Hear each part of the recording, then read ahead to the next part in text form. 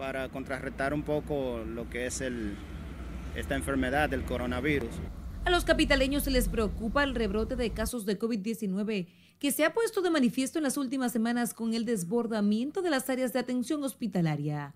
Para unos, la restricción en el horario de circulación y la venta de bebidas alcohólicas podrá reducir significativamente las aglomeraciones. Sí ayuda un poco, porque en el horario nocturno la gente lo toma para hacer ciertas actividades eh, donde se aglomera, muchas veces no cumplen con, con el uso de la mascarilla, que es lo que tenemos por el momento, y las vacunas.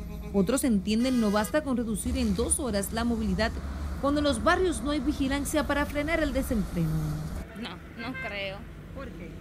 Porque no se cuidan las personas y además lo, lo mismo que las mismas autoridades son las que ponen el desorden. ¿Tú crees cómo?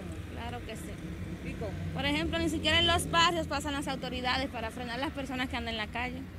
Entonces, esto como quiera, como quiera va a seguir cerrado o abierto, como quiera es lo mismo. Porque la gente no nos contenemos. Lo que sí coinciden es en la necesidad de que los ciudadanos tomen conciencia sobre la grave situación sanitaria por la que atraviesa el país.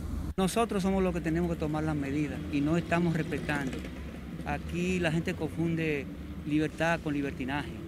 A partir de hoy jueves, el toque de queda en el Gran Santo Domingo y el Distrito Nacional iniciará a las 8 de la noche con flexibilidad de libre tránsito de 3 horas. Se restringe también la venta de bebidas alcohólicas a partir de las 5 de la tarde. Margaret Ramírez, RNN.